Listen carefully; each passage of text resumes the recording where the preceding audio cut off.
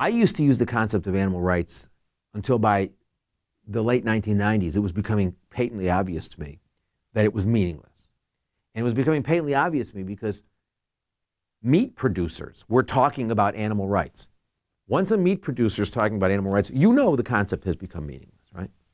So I, um, I stopped using animal rights because it was meaningless.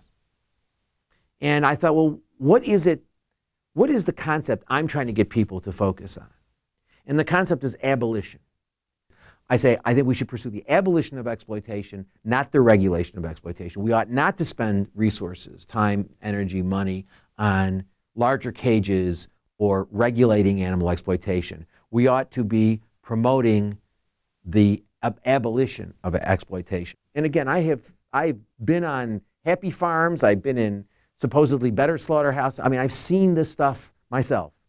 It doesn't matter whether they had the best lives in the world killing an animal so you can eat the animal or you can wear the animal is wrong. You know, and I don't care. I mean, I don't care how humanely. I mean, obviously, it's it's it's worse to, to torture them more than to torture them less. But the bottom line is, you know, if if I said to you, well, gee, you know, um, I guess it's okay on that theory for me to sneak into your bedroom tonight while you're sleeping and put a bullet through your head. If I did it right, you wouldn't know what hit you. You wouldn't suffer at all. You would just be dead. Would that be okay? Well, most people would say no. Why? You're not suffering.